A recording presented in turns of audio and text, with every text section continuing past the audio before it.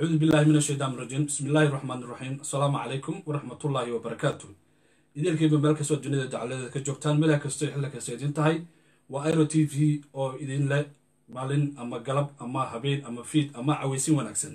Waa barnaamijkeeni arliya aad nooga barateen inaan kugu soo tabino barnaamijyaha.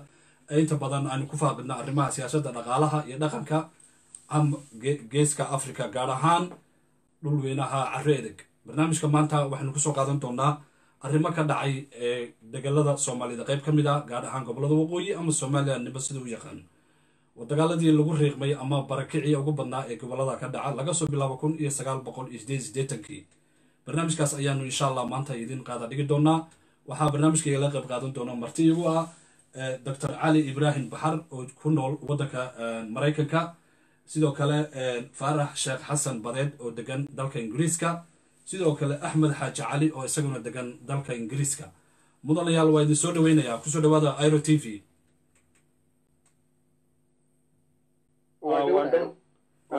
Waa hagaag soo dhaweyn kadib run ahaantii waxaynu doonaynaa inaynu faaqidno arrimahaasi iminka ka soo wareegatay muddo dhowr iyo soddon sano ah laba iyo soddon ama saddex iyo soddon sano ah waxaa dhacaya arrimo fara badan oo ilaa iminka maanta aan la hufin ama aanan loo kala yacni gar iyo arrimo iyo nidaam aan weli la sagayman.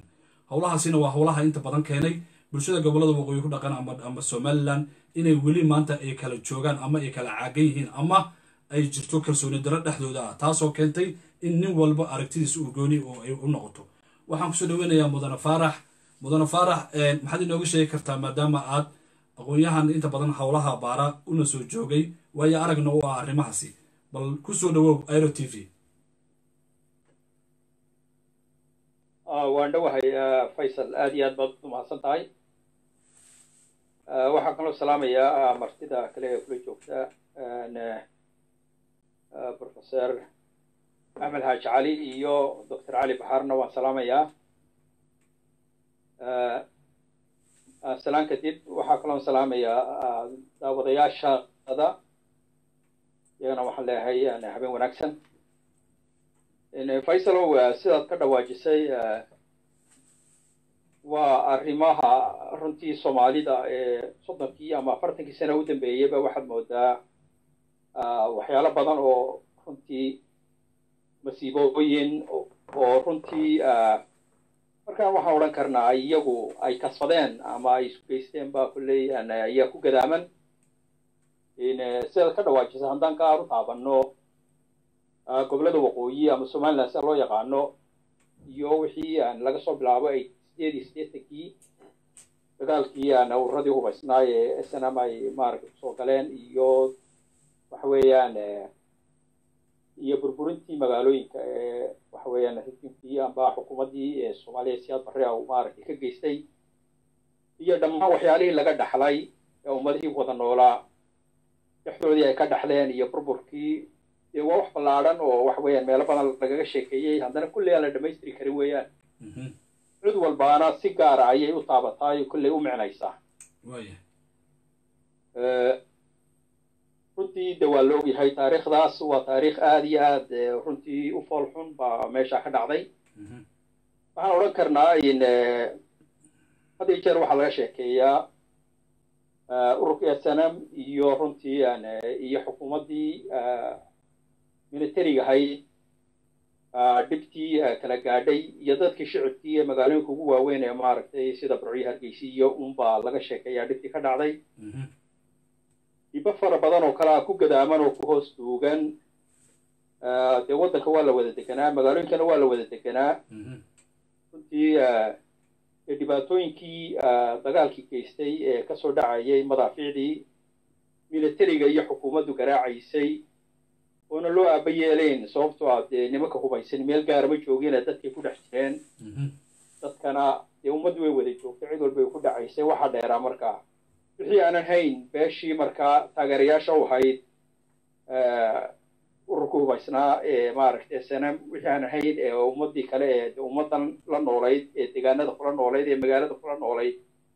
Waxaa iyaga u dheeraa madaaficdan in dee haddana si gaara loo haybsooco oo si gaara iyagana ma maaragtay dil gooniya loo geysto oo runtii xasuuq gaara oo dee iyagoo runtii afxisiimo lagu dilayo in loo geysta ayaa siyaado ka ahayd. Runtiina ciidamo kastoo lamana hadal qaada inta badan laakiin waa xasuuq xasuuq ku hoos jira baan odhan karnaa runtii maadaama madaafiicdii wixii la garaacaya khasaare badan geysanayeen oo ummad kulley xasuuqa ugu sheegi karno. Laakiin ummaddii kale ee la qaxday ama la joogtayna xasuuq gaara oo siyaado ah oo heebsooca ayaa iyadana ku dhex jirto ama dadkii shacibkii ama qoladii hubaysnay ay dilayaan marka waxaan odhan karnaa waa masiibooyinka kulley fara badan yihiin laakiin qayb ka mid a ayay ka mid ahayd baan leehay mudane farax sheekh xasan badeed runtii waad maadaama aad runtii guud martay haddana waxaa jira de waxaa la yidhi geed walba inta gubataa hoostaal dadku siyaabo badan ayay u tabanayaan ama u cabanayaan oo dhib ugu soo gaaray. Adiga shaksiyan ahaan marka laga hadlayo adiga qudhaada iyo dadkii kugu xeernaa iyo ehelkaagii ma dad gooni ah oo si gooni ah dhib u soo gaaray ayaa jira waad mahadsan tahay faysalow waxa weeyaan waxaan filayaa mushkiladaha iyo dhibaatooyinka ka dhacay dhulkaasi dadka ugu badan gobollada waqooyi ku noolaa qofba inay ka soo gaadhayba cid ka badbaado horta ma jirto. Anigu shaksiyan kolka laga tago dee degaamadii iyo beerihii iyo magaalooyinka aan deganayn oo dhulka u horreeyey ee runtii beel ahaan ururka hubaysnaa oo gacanta iyo maaragta uu mariyey oo beerihii la gubay oo guryihii la dumiyey marka laga tago dad badan oo shicib ahaa oo ganacsato ahaa oo hargeysa ku noolaa walaalkay ka mid ahaa oo khaasatan niman si gaara loo calaamadeeyo oo meelo badan lagaga hadlo ay ka mid ahaayeen runtii ninkii aqoon-yahankii xasan cali xaaji cali bidaaro xasan aboolo loo yaqaano. Walaalkay baa ku jira oo kaamil sheekh xasan badeed. Iyo carab barkhad abaar oo isna ganacsadahaa nin kaloo profeseer ahaa oo maxamed cilmi oo cilmina cilmi jir loo yaqaano. Oo gebigoogu raggaasi ayna cidna ayna dowladda u shaqayna wada shicib ahaa oo runtii dee hanti ku lahaa magaalada. Oo sida dadka kaleba u qaxeen intay la qaxeen dee nin walbana ka hagaagi lahaa hantidiisii iyo gurigiisii oo dee maalin walba sida dadka kale ay intay. Marka la soo qaxee meelaha geedii baa loo soo qaxay la noqdo haddana waxyar laga soo qaato. Gurigiisii nin walba iyo wixii yara hantidiisi meel ku aasay kolba soo wareegaya oo dee adduunyadu dhanka u dhici ma aqoon. Waa ka mid ah dad waxa weeyaan hayb ahaan loogu dilay sida wararku ay sheegaan waxa weeyaan halkaa magaalada oo maaragtay halkii daloodha loodhan jiray areada iyagoo maaragtay reer ahaan maaragtay loo dilo weliba nimanka. Sida wararku sheegaan madaxda markaa ka aha waxa weeyaan ururkii sanama ay qayb ka ahaayeen amarada bixiyeen baa la sheegaa. Marka way fara badan yihiin iyo dad fara badan oo kale magaalada dhexdeeda. Runtii shicib haa lagu dilayba marka laakiin xusuus gaar ay leedahay. Waana way way jiraan oo aniga kulley dadka gaar ay u taabataa ka mid ah. Haddaan kaa dhex galo isla qodobkaa hore ayaan weli ku jirnaa.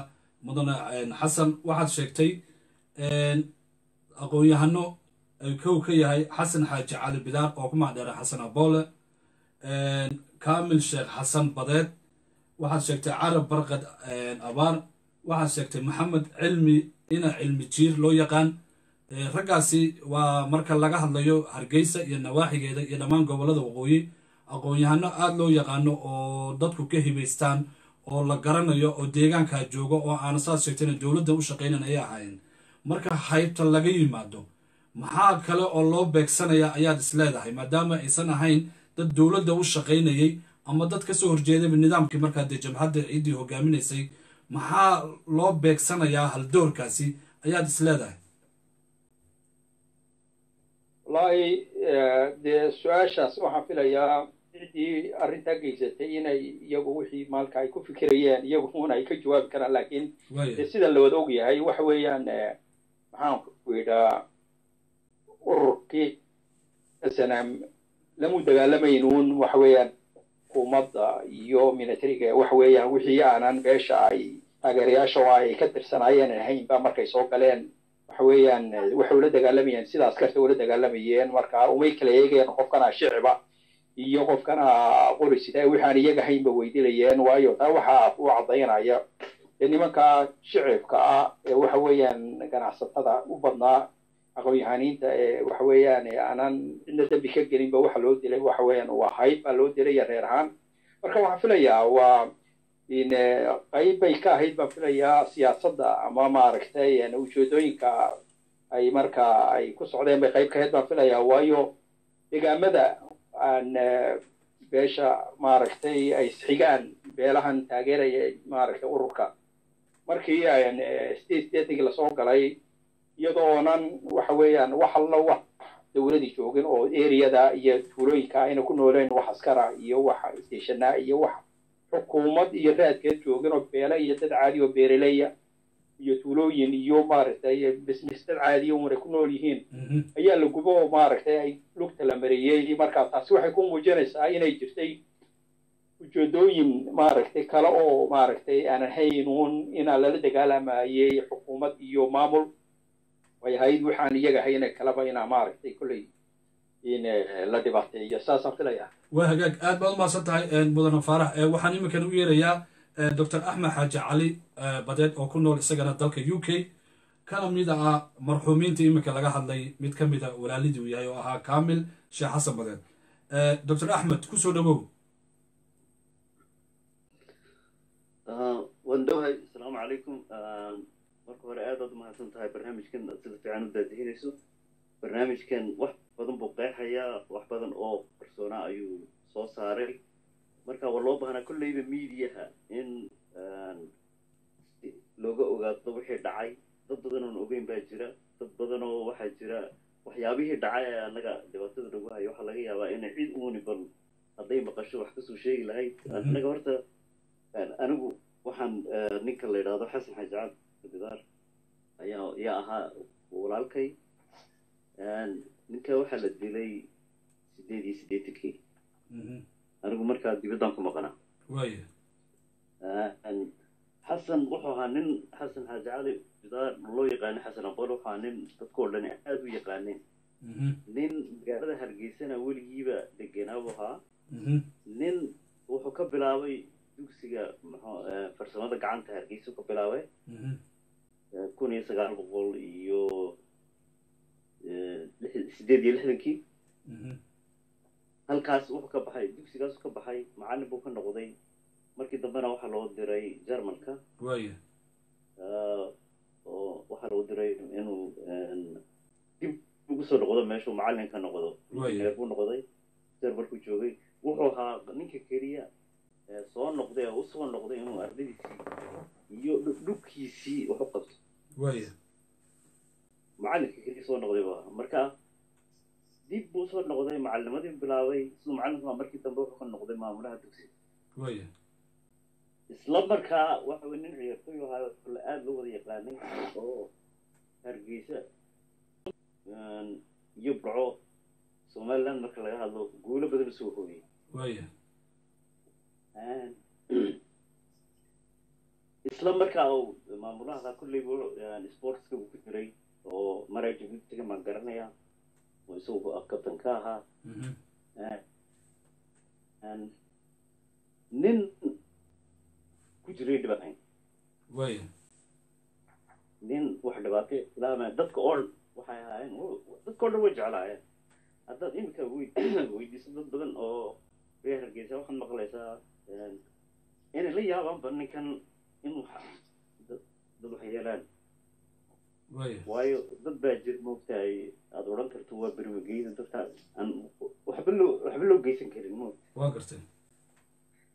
Marka annaga gaar ahaan waxa weeye waxaan soo noqnoqda dhibaatay nagu hayaan waaya waayo boog hore oo ilownay ayaa kolba soo noqnoqota laakiin haddana xal uma hayna haddii aan heli lahayn cadaalad. Waan ka bogsan lahayn mar hore laakiin ma hayno cid. Hadda qaxaysa ama sheegaysa ama wax caddayna oon leenahay dadkaasaa ka dambeeyey. Laakiin waa la ogyahay inay ka dambeysay ka dambeeyey ururka snm inay ka dambeeyeen. Siduu faarax sheegay afartaa nin ma isla socotay waxaa lagu qabtay. Meesha loo wada qaxay oo magaalada laga wada mar markuu bombku dhacayay ee dowladdii galiterskees muxuu ahaa dowladdii muxuu ahaa siyaad bare ay dadka leynaysay waxa weeye dadka hargeysa degan cid looma kala eegin. Maahayn kanaa qabiilkaasa iyo kanaa qabiilkaasa cid walba ku jirto ku dhimanaysa wax gaar loo kala soocaya ma jiro marka iyagu dadkaasay ku jireen waxay uga qaxeen meesha waxay ahayd bal inay ku badbaadaan walaalkay waxaa la socday xaaskiisa iyo ilmihiisa waya carruur buu lahaa la socday. Halkaasay ku qaxeen. Mhm. meesha ay ku qaxeen ayay ku badbaadi waayeen oo qabiilo qabiil daraaddeed loo dilay waya saan maqalay? Mhm. marka tan waxay ku tusinaysaa inay ahayd wax planila oo marka horeba la soo plan gareeyey in dadkan la target gareeyo aanan ahayn dadka muxuu ahaa qabiilka qabiilada kale ah in la ee ku nool waqooyiga waya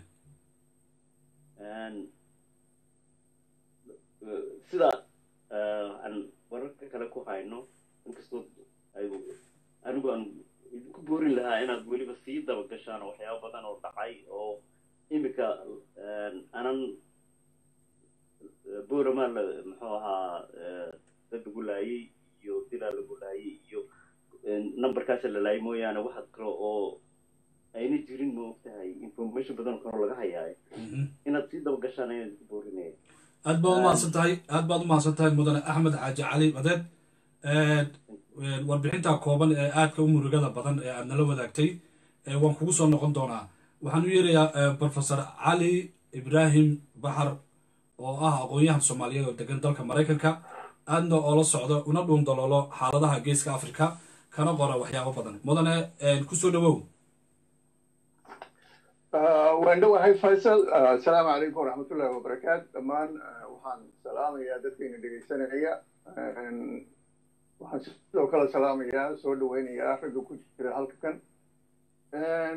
Anigu runtii kolley detailska hadda raggaasi bixiyey. Ah, ku saabsan eh, afartan nin. Ayaan kolley ah, arrin kolley dhibsaday ahayd in badan. Taasaan markaa markaa la soo xidhiiday aad barnaamij aad sii daysay oo cod duuban oo soo noqnoqda. Mhm. codkaas oo ah mid runtii dee raggaasba siday sheegayaan mar kastoon maqallo dhibaatadiisa iyo maaragtay xanuunkiisu soo noqdo marka runtii waxa weeye afartan nin ee la sheegay ee halkan lagu sheegay dee samaroon ayaa inta badan la odhanayaa laakiin afartan ninba waxay ahaayeen niman eh, maxaba maxad casaa oo muuse ah. Ahayd. Waa run s n m waddanka markay soo gashay ujeedday u soo gashay u malayn maayo dee dowlad markaa ay eh, la dagaalamayeen inay jirin. Laakiin waxay taarget garaynayeen qabaa'ilka aan iyaga ahayn. Raggana raggana waxay noqdeen kuwaas oo kale. Mhm. in ka badan dee kumayaal baa sidaa loo dilay aan laga hadin waa run axmed sidaa uu sheegayo. Waa runtii wax dee een, laguba faanaba in ay gadabursigu markaad taabato. Waxyaabaha ku dhaca marka laga hadlayo. Dadka banaanka ka joogay noqon dhulka awda la yidhaahdo. Waxaa had iyo jeer la soo qaataa dadkii dila lagu laayay dadkii boran lagu laayay. Aad baan runtii dee ugu boorinayaa dadka taariikhda. Intaa xitaa een, ah, adduunka gaadhsiiyey. Laakiin waxaa dhacay xasuuq intaa ka badan. Oo sidaa faaraxba sheegaya sanado badan socday. Mhm. Een, anigu halkaan ka soo galayo markaa halka kan barnaamijka runtii fiksaday wuxuu ahaa codkan soo noqnoqday ee duuban ee dhowr sano soo noqonayay ee ka hadlaya ragga dilkiisa. Waxaan doonayaa bal ninka codkaa duubay hadduu nool yahay codkan uu duubay waxaa ku jira magacyaal baa ku jira meesha raggaa lagu laayaa ku jira waktiga uu sheegayaa ku jira hadday dadkaasi nool yihiin xitaa bal inay inay hadlaan oo ay yidhaahdaan waxaasi sidaas u dhacay. Xasan annagu waxaanu ahayn dad asxaab baanu ahayn isku kalaas baanu ahayn waxaanu ku kulannay camuud iskuulka dhexe camuud baanu ku kulannay. Mhm. xasan wuxuu ahaa wuxuu ka yimi asalkiisu hooyadii waxay ahayd tigrey xasan isagoo maaragtay weli af soomaaligu ku adag yahay ayuu camuud aan ku kulannay. Waya laakiin muxuu ahaa? Xasan wuxuu ahaa dadka ilaahay siiyey hibada. Okay Mhm. dee dadka kaba weynayn. Iskuulka dhexe waxa weeye kalaaska afraad ilaa ka toddobaad baa ku jiray haddana isagu kabtanku ahaa kubadda haba noqdo kabtan kubadda ee dadka ilaahay natural leadershipka siiyey buu ahaa oo runtii taasuu ku hibo ku lahaa markaan camuud ka baxnay sidaa loo sheegay wuxuu burcu galay aniguna banaadir baan galay sanad buu dee markaa saddex sane ahaayeen sannadkii markuu soo dhamaystay xamar buu iigu yimi xamar baan muddo wada joognay isla markaa wuxuu la ciyaari jiray u tegi jiray tiimamkii sokarkee xamar iyo oo kale. Mhm. isaga oon xitaa hadduu helo ah, noolka taxiga. Yani sidaasuu committed u ahaa. Garanaysa xamar xasan wuu tegey oo wuxuu tegey jermalka jermalka markuu ka soo noqdayna haddana xamar buu iigu yimid markaanu laf oola dhamaystay. Mhm. abaal buu ila joogay. Intii uu maxaa markaa dhacay? Waktigaa uu soo galay xasan baan doonayaa bal waxa iyana dhacaan kuu sheegaya waktigaa waxay ahayd waktigii jabuuti xornimada qaadatay. Dad badan oo markaa anigu qudhida ku jiray baa la yidhi orda ka soo footeeyey jabuuti oo codkeyga u soo dhiiba. Mhm. dad badan oo markaa wax bartay oo soomaali soomaalidu wax bartay oo u badnaa qabiilka ciisaha la yidhaahdo ayaa durdurayay ilaa ilaa gelayay ma garanaysaa jabuuti gelayay.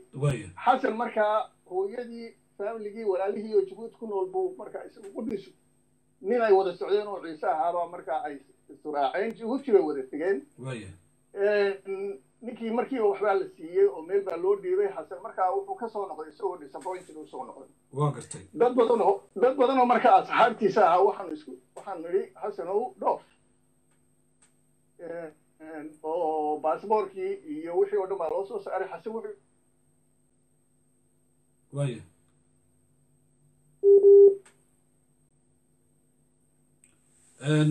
waxaan u malaynayaa professorka codkiisa waa uu inaga go'ay. Mudane farax waad imaqlaysaa soo maaha? Mudane farax waad imaqlaysaa Een, waxaan u malaynayaa daawadayaasha qadarinta leh ee la socday barnaamijka sida toosa airo t v aynu maanta kaga hadlaynay barnaamijkeenii taxanaha waad imaqlaysaa soo maaha professore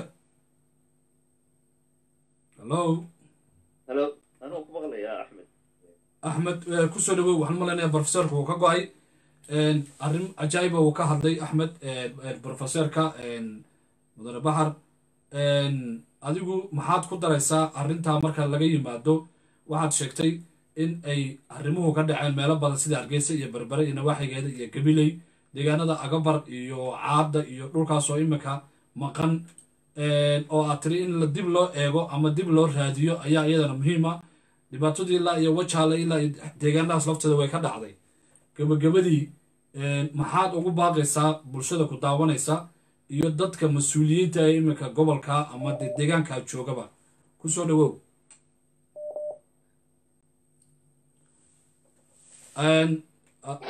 adoo raalli ah wax yar isug een, mudane axmed professor waad imaqlaysaa doctor ibrahim cali baxar sorry wuu kaa go'ay halkii ka wad marka hawl arrin baad waday halkii ka wad. Ah, waxa waxaad maraysay waxaad maraysay idinka oo xasan abolo kula taliyey inuu dhoofo oo baasaboorkii iyo arrimihii loo diyaariyey ha ha marka xasan waxaan ujeedadan sheekadaa u galay waxay ahayd xasan. Wuxuu jeclaystay inuu waddankiisa joogo. Mhm. uu waddankiisa wuxuu qaban kara u qabto. Wuuna sameeyey oo de adigaa maqlaya inuu daara ka dhisay inuu iskuulakii iskuulkii madax ka noqday. Waxaan ka wadaa waxa weeye. Mhm. nin qoris sita oo axmaar wata ayaa intuu soo galay dhulka. Mhm. wuxuu taargetgadaynayay dadkii waddanka dhisayay Baa mushtariga lahaa. Qabiil kale ahaayeen. Marka waxa weeye waxa dhulka ka dhacay waxa weeye intani waxaa soo noqnoqodka cajalada waxaan doonayaa inaan mar kale ku cesho ninka cajaladan duubay hadduu wax kale ku darayo oo nagu darayo waan jeclaan lahayn. Mhm. dadka cajalada dhegaystay hadday wax noo sheegayaan oo intan ay wax ku kordhinayaan ila dad baa noole. Na waan aad baan aad baan u jeclaan lahaa. Waxaan kaloon leeyahay dadka weliba dadka degan dhulka reer awdala. Waan hadla oo wixii laydinka dhigay. Waayo xabaalahan la qoda iyo lafahan la qodaa dee kuwii kuwa kuwaan ka ku jira. Ciddii inay ka qaadi ma jirto oo odhanaysa kaniisaaq buu ahaa kanagada bulsi waa ma jirto dee. Marka waxa weeye waa dadkiina sheegta. Dadkiina sheegta. Oo hadla. Oo taariikhda geliya.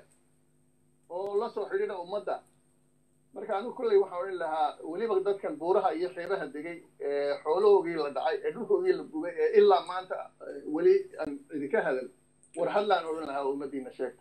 Mudane intaada ka bixin doctor cali ibraahim baxar waxaa jira dad badan oo deganaa deegaanada loo yaqaano caadda iyo cagabar. Oo ah dhul barwaaqa sooran ah oo dhul beereed aada u wanaagsanaa. Dadkaasi dhulkaa laga barakiciyey beerahoogii la haysto iyagana ka maqan yihiin dadka qaarkood waxay maanta qaxooti ku noqdeen ama ku barakaceen ilaa iyo boorama ilaa iyo xaab iyo guban. Maxaad arrintaasi aad aad ka odhan lahayd? Waa arrintaasi waa arrin ruga oo dagaal lagu qaaday ilaa maalintii ilaa iminku ku socdaa. Waxaa details badan kaa siin kara xasan irka ku baxay. Marka xasanow wixii aad ku darayso halkaa waayahay waayahay xasan baan u yeedhayaa assalaamu calaykum xasan waxaan malaynayaa wayna ka go'ay waad ku soo noqoteen. Adiga iyo axmedba xasan waxaynu maraynay gabagabadii barnaamijka. Waana barnaamij yani runtii aan wax badan yani dad badan maanta aad ugu iftiimiseen. Waxaa jira sida uu sheegay doctor cali ibraahim baxar aabbahaa qudhiisa inuu ku jiray dadkii deganaa deegaanada agabar iyo caadda oo beerahoogii ilaa iminka maanta ka maqan dadkaasi bal qaabkii wax u dhaceen iyo xaaladii siday wax u jireen bal maxaad nooga sheegi kartaa?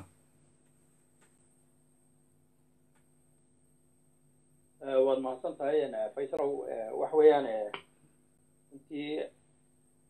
yani